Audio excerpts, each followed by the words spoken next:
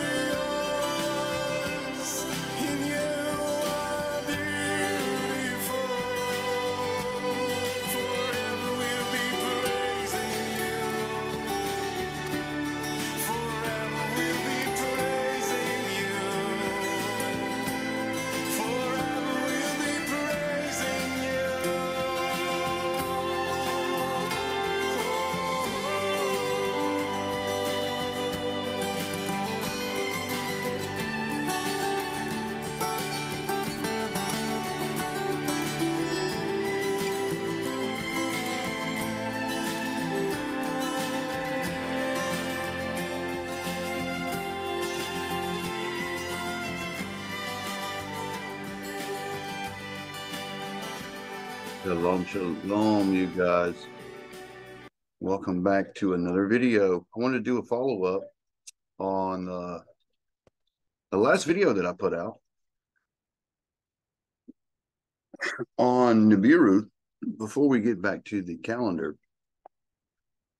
That video um, did, you know, better than what we've been seeing here recently with all the, the uh, calendar teachings. Um, but I got a lot of requests on a follow up on that, especially when I'm I you know was talking about this this the cyclical occurrences throughout the Bible that can be easily seen there that must have something to do with something outside of our you know uh, our, our, world here. This is um, in, in the the stars, things that are happening over and over again. Joshua's long day, the you know Hezekiah's sun going back ten degrees, yada yada yada. These kind of things. Uh, if if the theory is true, then what we should see, because you know, with the the, the concept of codes, you have the plain text and the encoded text. One will be verifying the other. So if if Wormwood, Planet X, Nibiru has anything to do with the crucifixion, you know, what happened at the crucifixion, what what happened at Joshua's long day, Hezekiah, got it all the way back. Then we should be able to find this these words in the text. And indeed we do. So I was asked about this. And I, I, I said, yeah, yeah, I have codes on that. Um, absolutely. This is why I tell you that these these events are connected to it. I did a presentation with Gil Broussard a couple of years ago where we talked about plasma and you know some some events that had happened with uh, Siding Spring, yada yada yada. We talked about uh, wormwood and you know the possibility of um, this object and the code that I, I shared that night, I'm going to share again, which happens to be in those texts. So we're going to be looking at a couple of codes. Let me share that with you right now. Hold on just a second. I'm going to, I'm working on two computers, you guys, so bear with me. Okay, so now the other one can share.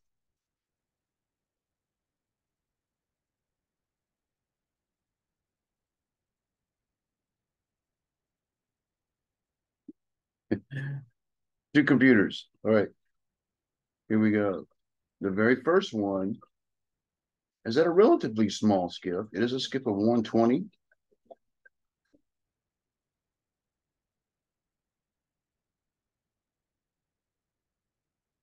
There it goes. Very good.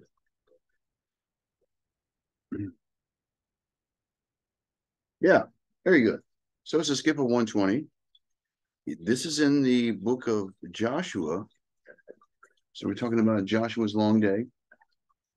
If you don't know the story of Joshua and what, what's taking place here, this is when they've come into Canaan and they're battling um, with um, the tribes there. Matter of fact, I just happened to see the word Melchemach, which is war, war going on, battles going back and forth. And there's there's something that actually happens. So let's let's take a look at that.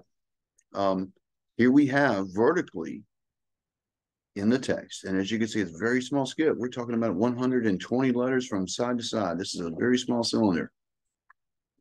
Statistically significant, as the rabbis would say.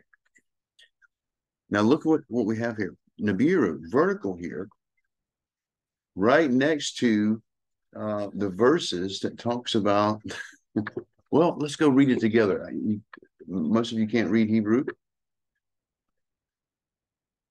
but this is um, something the rabbis talk about. I showed you in the last video that we did that I did with Scott um, what I had on Nibiru and that the fact that the rabbis are working on the very same codes because of, of this prophecy um, and it's not just there. They they have prophecies in the Talmud where where rabbis are talking about this star that's going to appear, this thing that's going to happen. There's going to be cataclysms. There's going to be um, you know, things with our our climate, climate change, all this kind of things that they're seeing now. And I could even cite a couple of um, uh, Jewish uh, YouTube channels that are tracking specifically like Nibiru. And of course, for for the longest time, I was wondering why this was was appearing in in text with wormwood because the Christians were looking for um, this thing called wormwood, which from that perspective and where I come from, I could I could reconcile the rest of the, the prophecies from the prophets about this particular event in in particular Isaiah 24. Okay, for just for one. We don't have to go into all of them. They seem to be connected. And there's this key word that is there, and it's Nibiru. Now, this wasn't coined by this the man named Sitchin. This is this is actually in the Ethiopic text, and it deals with the throne room of the Most High. That word Nibiru. Okay, but this guy Sitchin's wrote this book and it talks about Anunnaki and yada yada yada.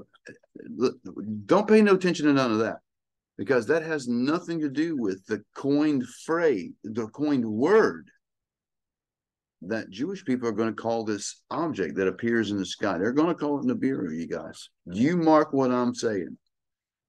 It's not the pagan world like I thought it was. It's actually Judah that coins this term. It's in the text. Look at where it is. This is in Joshua's uh, 10th chapter of Joshua. And we're going to start with, uh, let's back up a little bit. Verse 8 And Yahuwah said unto Joshua, Fear them not. They're in a battle right now. For I have delivered them into thy hand. There shall not a man of them stand against thee. And Joshua therefore came upon them suddenly, for he went up from Gilgal all the night. And Yahuwah discomforted them before Israel and slew them with a with a great slaughter at Gibeon. And they chased them by the way of the ascent of Beth Horon and smote them to Azekah and unto Makkedah, uh. And it came to pass as they fled from before Israel, while they were in at the descent of Beth Horon, that Yahuwah cast down hailstones from heaven upon them unto Azekah. Now think about that. Hailstones. What are we talking about with wormwood? There are going to be stones. Uh, there are going to be things that are impacting the earth and falling on the people. But I said this in the last video. Don't fret things like that because the remnant is listen, Yahuwah is the master of precision. This is for the enemies of the world. The enemies of the world are going to be destroyed in his precision guided hailstones. okay. That's what he uses in this. Interesting that that Nibiru appears here. Now look what happens on this day that they're in a battle. Yahuwah is slaying the enemy with these things that are they're essentially meteorites. You guys, imagine that meteorites coming down on a battlefield that is sprinkled with Israelites and the enemy, and these hailstones kill the enemy. That's what I mean by precision strike. Okay, let's continue to read. And then spoke Joshua unto Yahuwah in the day when Yahuwah delivered up the Amorites before the children of Israel. He said, In the sight of Israel, Sun, stand thou still upon Gibeon, and thou moon in the valley of Aijalon. And the sun stood still, and the moon stayed until the nation had avenged themselves of their enemies. Is it not written in the book of Jasher? And the sun stayed in the midst of the heaven and has not gone down about a whole day. Now, think about that. This is in ancient times, right after Moses. This is after Moses, after the mountain and the mountain experience, getting the law, and they're battling these giants and these these in the land. Uh, you know, um, several battles. Um, Jericho being one of them. Okay, so so Yahuwah, destroys the enemy with hailstones. The sun and the moon stand still. And by the way, that's what's right next to Nibiru. So there's a direct connection. As you can see, the text verifies this. You, there's no there's no accidents. There are no accidents. That's not accidentally there in the text. It is absolutely the same object that happened at the crucifixion the same object that that the the Hebrews recorded in the book of Jasher, it says that the sun stayed in the midst of heaven and hastened not to go down for a whole day. Do you know that all of the calendars of the world at some point there were 360 days and something happened at some point that changed that to 365 days, 364 days in the year. So we had days added to the calendar. This is that point right here. So, so this is the text. It does have um, the crucifixion. By the way, I, I found this here today, this word, which is the crucifixion, just like a banner growing across the top because this is the same object. Now, those of you that have the Peshitta and can search the Peshitta, go to the text where the crucifixion is and look for Nibiru and search all three spellings. I guarantee you it's there. This is this is a fact. This is why we can cross-reference it with the crucifixion being here. Very short skip in this text. Okay. Um, Nibiru is also down here at this angle. So we got it coming together at a, like a 90 degree angle here in the black and then down in the blue here. And then, uh, you know, we have a, the United States encoded in this text. And you're going to see this because this has a, a great effect on the world. And the United States is going to be in the middle of it um, when this debuts. And um, some think it's very, very soon. Um, but it, the fact is, it is reflected in these codes and is, I believe, synonymous with wormwood. We can also find the star. We can see uh, the, in the in the uh, white right above Kachav, which is star, and there's you know uh, where we I just saw the word war Melchama right there. All right, so now let's look at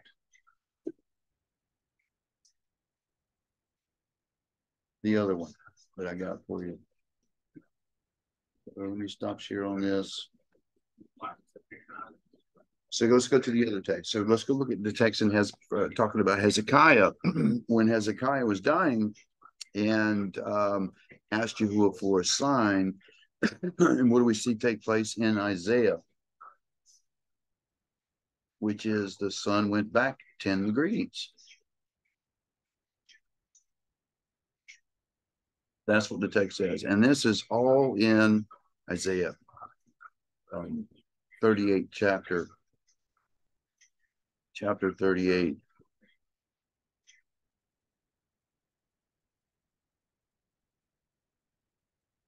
very small strip. It's only a 23. 23.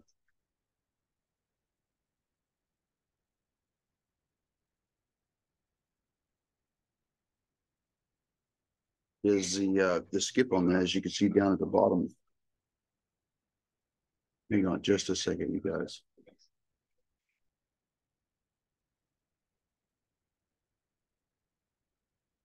Oh, here we go. All right, so Nibiru in Isaiah. So let's go look at the text there. Um, and we'll start right here at the top with thirty-seven, excuse me, thirty-eight, seven. And this shall be a sign unto thee from Yahuwah, that Yahuwah will do this thing that he has spoken. Behold, I will bring again the shadow of degrees. All right, so let me just set this up.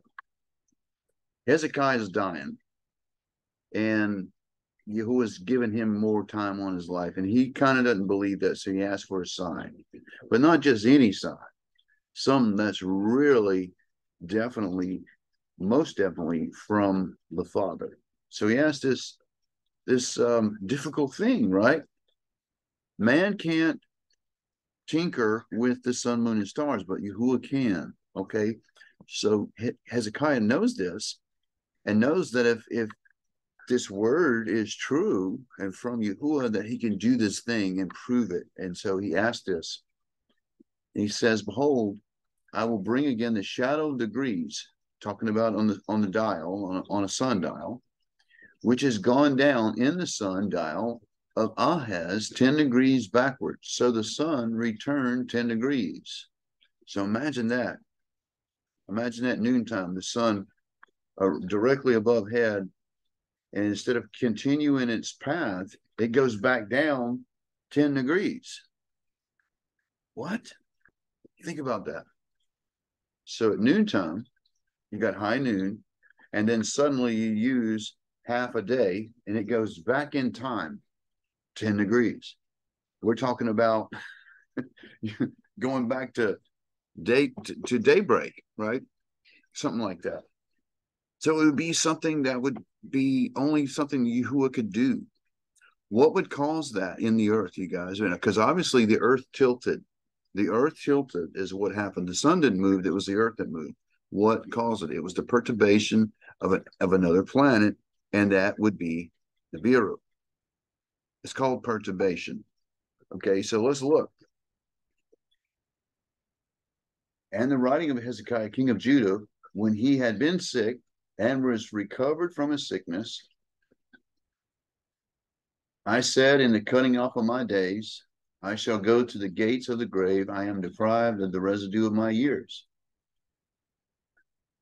I said, I shall not see Yahuwah, even Yahuwah, in the land of the living. I shall behold a man no more in the inhabitants. Uh, I shall behold man no more with the inhabitants of the world. Mine age is departed and is removed from me as a shepherd's tent, and I have cut off like a weaver my life, and he will cut me off with the pinning sickness from day into night, and without make an end of me. Right? I will reckon till morning as a lion. So will he break all my bones from the day even to night wilt thou make an end of me. Like a crane or a swallow did I chatter. I did mourn as a dove. Mine eyes fail and looking upward. O you who I am oppressed, undertake for me. What shall I say? Hath he spoken unto me, and himself had done it, and I shall go softly all my years in bitterness of my soul. O Yahuwah, by these things which men live, and all the things that in, are in my life and in my spirit, so wilt thou recover me and make me to live. Behold, for a peace I had bitterness, but thou hast in love to my soul delivered it from the pit of corruption, for thou hast cast all my sins behind my back and the grave cannot praise thee. Death cannot celebrate thee. That they that go down in the pit cannot hope for thy truth. The living, the living, he shall praise thee. As I do this day, the Father to the children shall make known thy truth. Yahuwah was ready to save me. Therefore will I sing my songs to the stringed instruments all the days of my life and in the house of Yahuwah. Right? So Hezekiah was dying. And you can see here where it is in um, 38, 39, excuse me, 38, 9, 10, 11, where the word Nibiru is. Let's go back and see what that is talking about.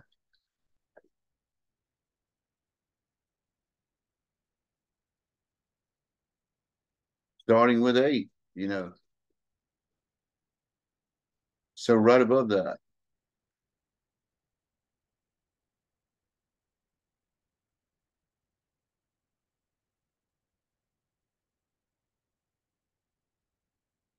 Right here. Behold, I will bring again, back again, the, the, the shadow of degrees. It's like a banner right over the top of the word Nibiru.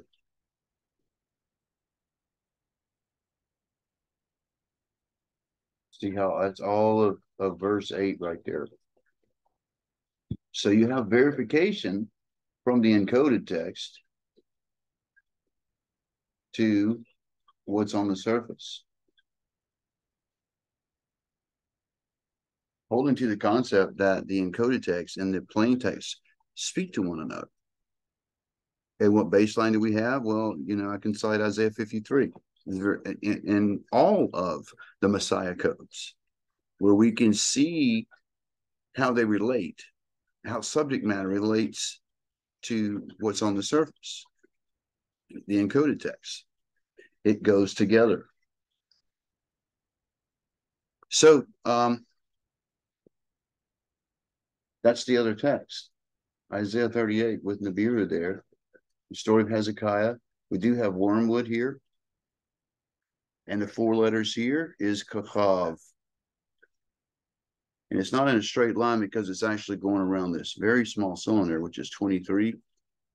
Kachav is there, but it appears sort of kind of um, in an oblique um, uh, formation there.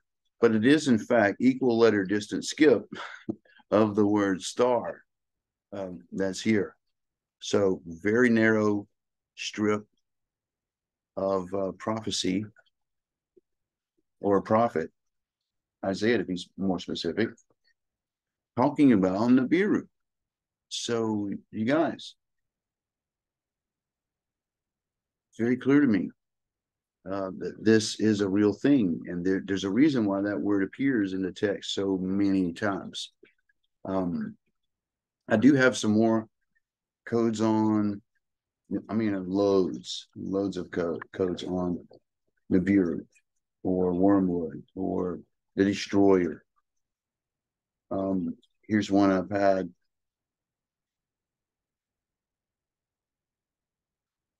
Here's one I've had for a few years that I've been working on, looking at. Actually put up for a while, but but it's there. And and we can see there's a connection to war with this. It's called War the the uh, Nibiru event.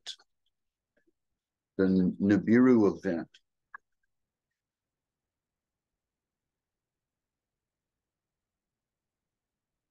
Is it showing? There we go. Long letter, long long access term. You got war right there next to it. um, wormwood. It's like a banner across the top. You've got Behold Days Come. Um,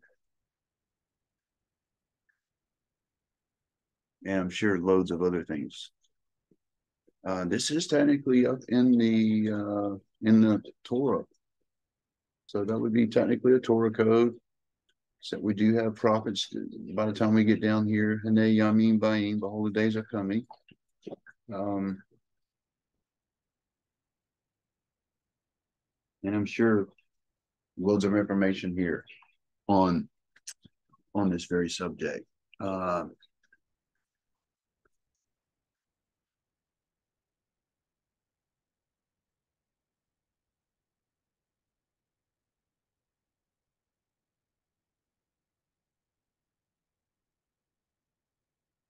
you can see what we got um, on that subject is several tables on that subject alone.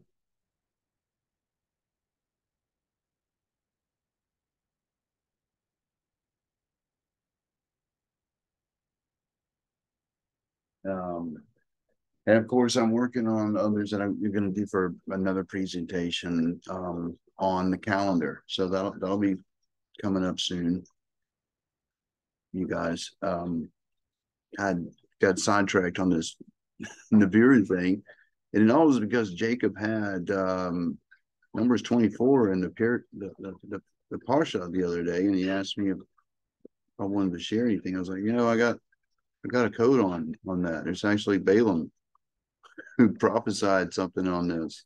So um that's kind of how that that got started. We got a few emails here recently. I want to I wanted to mention this before I close this out, uh, asking about the personal uh, codes. I am still committed to that, you guys. I did have to put that down for a while because the complications and things going on in my life. It's no secret. My life had been turned completely upside down and inside out this past year, and uh, it's been it's been pretty tough. I'm 50 years old. I'm having to start over for the second time in my life, you guys, and um, things have been difficult. And I appreciate your patience. I will not let you down.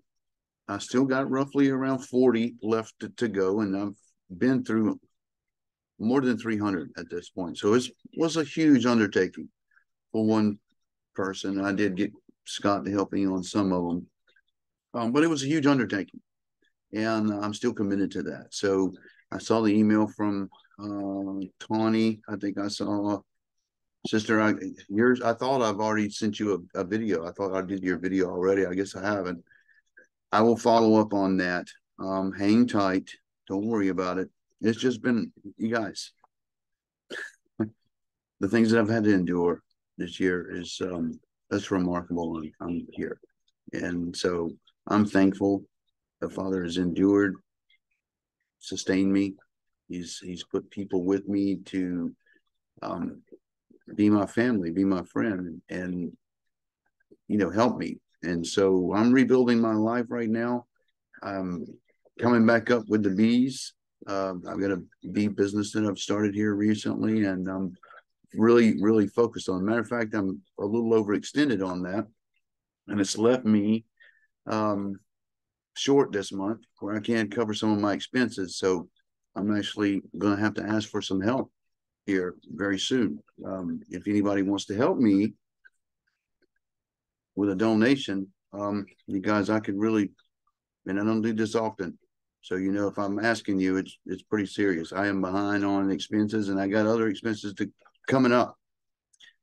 Um, other than that, doing really good. Um, it's just I put a lot into starting this business, and I left, you know, left myself short for expenses for myself for the month.